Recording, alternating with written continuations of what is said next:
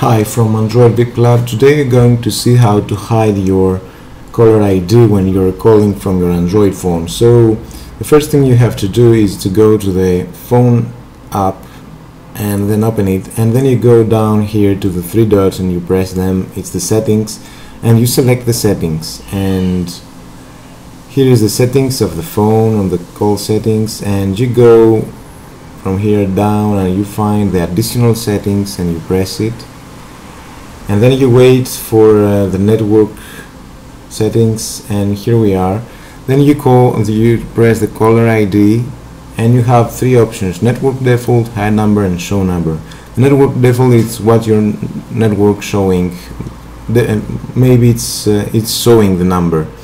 If you press hide number now the settings are updated and when you call somebody he won't see your number. And if you call show number your number will be shown.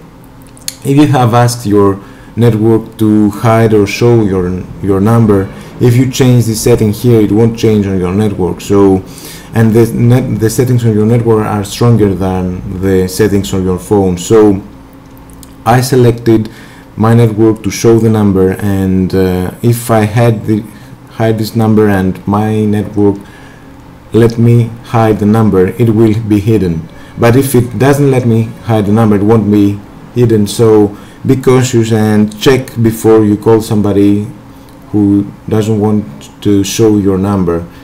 So hide the number call somebody you know you already know see if he can see your, your number and then call the other people you don't want them to see your number. So that was it. It was really easy to find and hide your caller ID. Thanks from Android VIP Lab.